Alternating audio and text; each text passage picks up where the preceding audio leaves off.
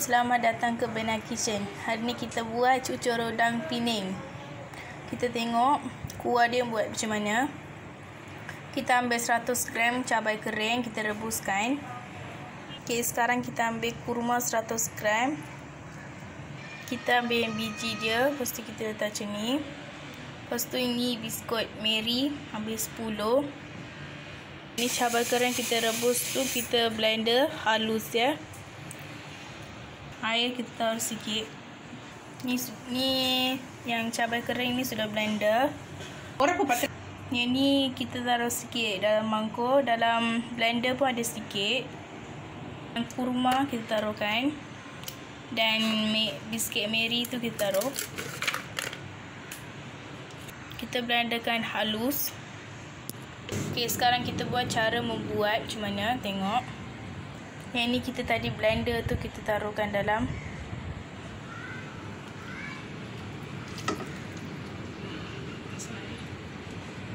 Dan kita masuk air sikit. Kita masuk daun sikit sikit. Asam jawa sikit.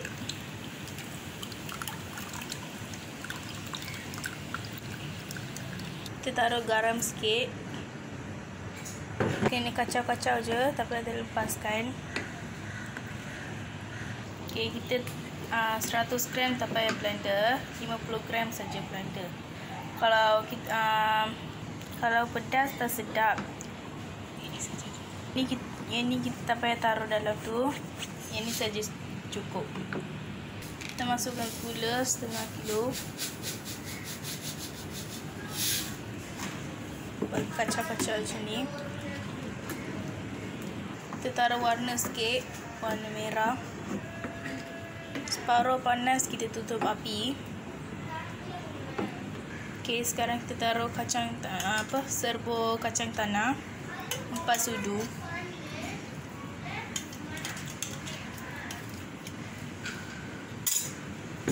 Kita kacau-kacau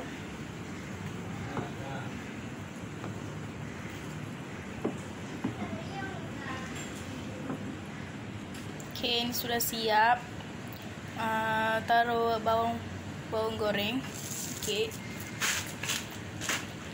Kita tengok gula dan garam cukup. Okey, kalau tak cukup kita taruh sikit lagi. Okey, sudah kita sudah tutup api. Minyak ni kita kasih panas dan cendu cucur udang ni kita bagi panaskan, kasih panas. Okey, tepung gendung 2 cawan. Dalam cawan ni kita taruh air 3 3 suhu. Kita bagi kacau-kacau macam ni.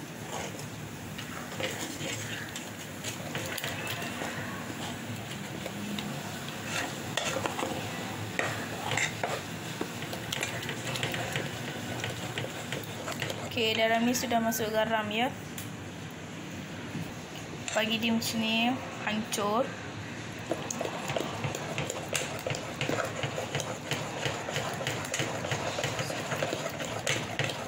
Inilah bahannya tauge sikit. Dan ni udang. Yang ini tahu kita gorengkan tahu dulu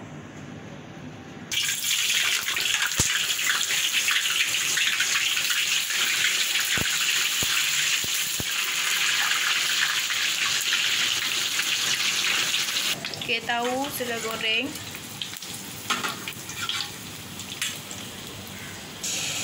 Okey, ini kena buat macam ni ya. Satu sudu. Dan tahu sikit. Atas kita letak udang. Dan ni atas atas sikit. Kita goreng.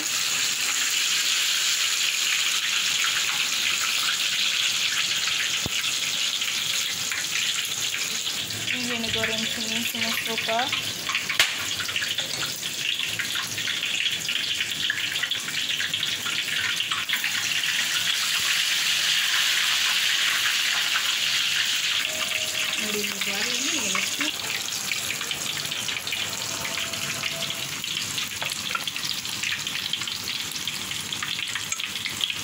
Okey, ini sudah goreng.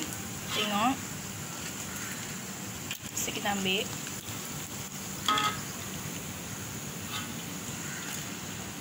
Okey, ini cucur udang pining sudah siap, sedap.